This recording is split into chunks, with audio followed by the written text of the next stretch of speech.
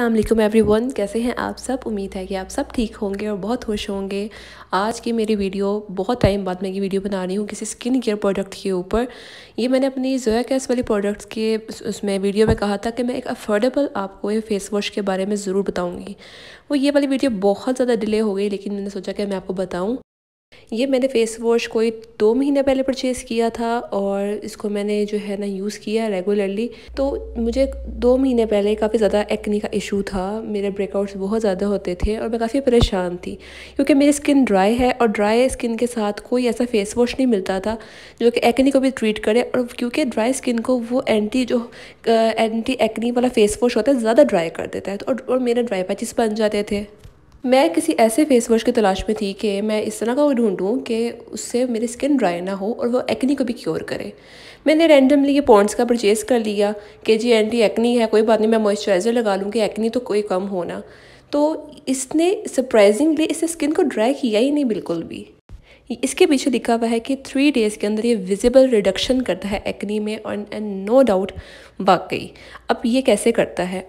जिनके फेस पे excess oil आ जाता है ना, ये उसको रिमूव करता है। जो बैक्टीरिया जिनके फेस पे बनता है ज़्यादा एक्नी कॉजिंग वाला, ये उसको रिड्यूस करता है। दैट्स वे आपकी एक्नी नहीं तो बिल्कुल भी नहीं होती और जो पुरानी होती है, वो ऐसे ऐसे ड्राई आउट होके ख़त्म हो जाती है। और मेरे साथ भी ऐसा ही हुआ। एक तो एक्नी भी क्लियर हुई एक्नी मार्क्स भी क्लियर हुए और स्किन ड्राई बिल्कुल भी नहीं हुई और यानी मेरा ओवरऑल बहुत अच्छा एक्सपीरियंस रहा इसके साथ। तो मैंने सोचा मैं ज़रूर शेयर करूँगी इसके बारे में। बैक पे सारे इंग्रेडिएंट्स वगैरह मेंशन है एक्सपेंसिव ही ज़्यादा कोई भी नहीं है।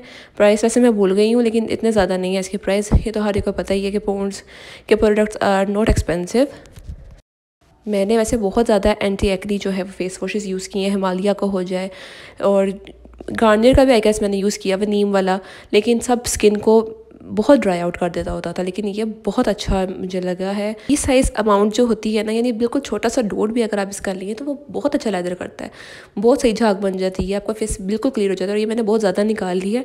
इससे भी आप हाफ़ अमाउंट यूज़ करें तो यानी ये बताना चाह रही हूँ कि एक लंबा बहुत चलता है इफ़ेक्टिव बहुत ज़्यादा है तो जिनकी स्किन स्पेशली ड्राई है ऑयली स्किन वालों के लिए तो वैसे अच्छा काम करेगा ही, क्योंकि ये दोनों स्किन के लिए है टाइप्स के लिए है ड्राई स्किन वालों के लिए भी अच्छा है और नॉर्मल स्किन टाइप के वालों के लिए भी अच्छा है और सेंसिटिव वालों के लिए भी अच्छा है ऑयली वालों के लिए भी अच्छा है।